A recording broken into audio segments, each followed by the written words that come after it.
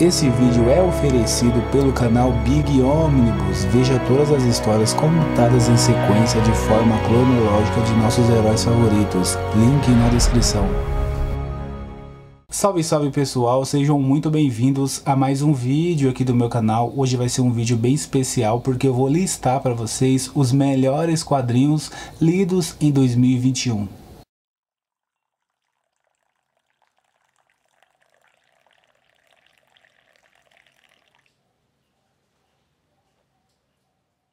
Bom pessoal, esse vídeo vai ser um pouco diferente comparado com o vídeo do ano passado, 2020, as melhores leituras de 2020, por quê? Porque no ano passado eu fiz um vídeo com as melhores leituras e com quadrinhos não necessariamente publicados em 2020, esse ano não, eu separei algumas leituras, as melhores leituras que eu fiz, lógico, na minha opinião, porém quadrinhos publicados em 2021. Esse ano, infelizmente, os quadrinhos tiveram um reajuste muito grande, muitos aumentos que impossibilitaram, por exemplo, eu comprar mais quadrinhos do que talvez eu compraria ou que eu já comprei em anos anteriores. Mas eu estou bem satisfeito é, com as minhas leituras e como de praxe eu vou separar aqui para vocês as melhores leituras desse ano. Mas eu vou parar de falar e mostrar os quadrinhos, falar sobre os quadrinhos porque é o tema desse vídeo.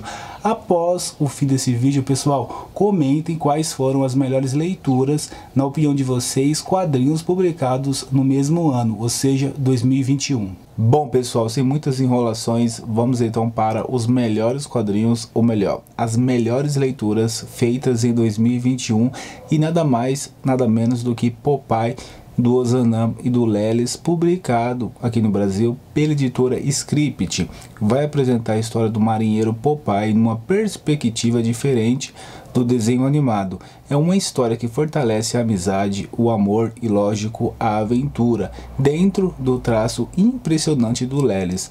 É um HQ que todo leitor ou fã do Popeye precisa conhecer ou ler. Bom pessoal, na minha opinião, o melhor mangá publicado aqui no Brasil nesse ano 2021 se chama Real, o Real, do Takehiko Inoue vai apresentar a história de três garotos com uma paixão em comum, o basquete. Seremos apresentados ao Nomiya, Togawa e o Takahashi, mostrando seus traumas, dramas e o modo como eles encontram no basquete a motivação para se manterem vivos. Recomendo muito esse mangá para quem busca uma leitura mais adulta. Bom pessoal, outra leitura que eu considero uma das melhores feitas nesse ano se chama Yellow Cab, publicado aqui no Brasil pela editora Pipoca Nakim, que vem fazendo um excelente trabalho e é mais um dos quadrinhos do Christophe Chabotet. Bom, Yellow Cab vai apresentar uma história real baseado em fatos reais onde o protagonista muda-se para Nova York e decide se tornar taxista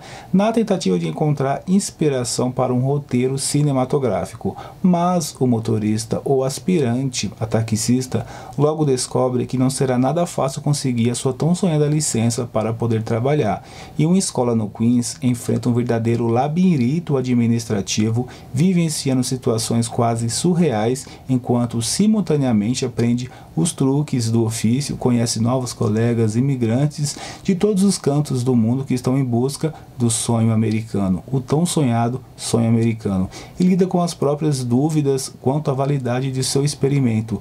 Tudo para ser recompensado com a permissão para guiar profissionalmente, ou seja, tornar-se um taxista. Outro mangá que eu gostei muito da leitura, tá bom, não é talvez a melhor leitura, o melhor quadrinho, o melhor mangá do Junji Ito, mas é um ótimo mangá e se chama Guiô, publicado aqui no Brasil pela editora Devir com o seu Tsuru. Bom, o mangá vai apresentar a história de dois personagens centrais, um deles conhecido como Tadashi e a outra Kaori. Eles vão passar o final de semana, ou melhor, as férias em Okinawa, uma ilha ao sul do Japão. Depois de um mergulho ao mar, eles começam a sentir um cheiro estranho, o forte cheiro da morte vai aos poucos tomando conta da ilha e antes que o casal possa identificar a sua origem, eles avistam um peixe em terra firme, um peixe apodrecido com pernas mecânicas. Isso, pessoal, um peixe apodrecido com pernas mecânicas. Bom, quem conhece as histórias do Junji Ito sabe que ele consegue fazer terror, suspense com coisas que talvez não daria uma boa história de terror ou até mesmo de suspense, mas o cara consegue fazer isso e te prender na história.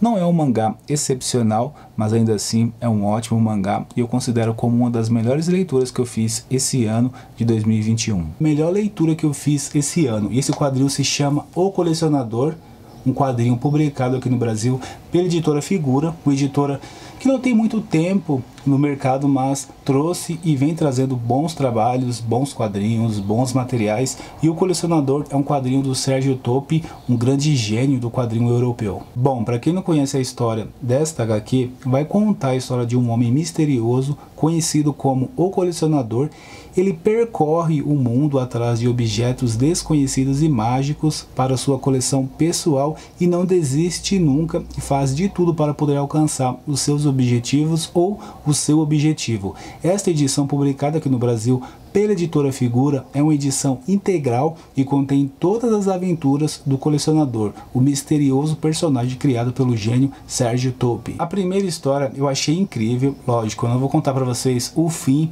dessa história, mas ele tem que ir até uma tribo indígena atrás de um cachimbo e existe um certo misticismo por trás desse cachimbo. Ele precisa convencer o indígena a dar ou até mesmo vender esse cachimbo, mas o índio, lógico, não precisa ou não quer o famoso dinheiro porque esse cachimbo também tem um valor muito grande para ele.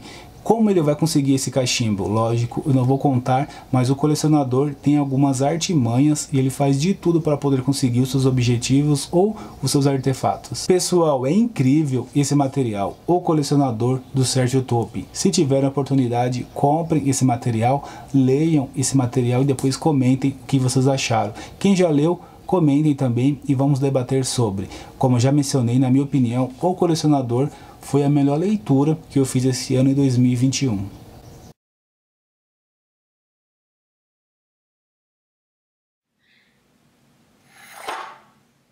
Bom pessoal, mais um vídeo que chega ao fim. Espero que vocês tenham gostado desse rápido vídeo listando para vocês os melhores quadrinhos lidos em 2021. Espero que vocês tenham gostado. Curte, compartilhe, se inscreva. Não deixe de comentar quais foram os melhores quadrinhos lidos e publicados em 2021, lógico, na sua opinião. Até o próximo vídeo, um abraço, fui!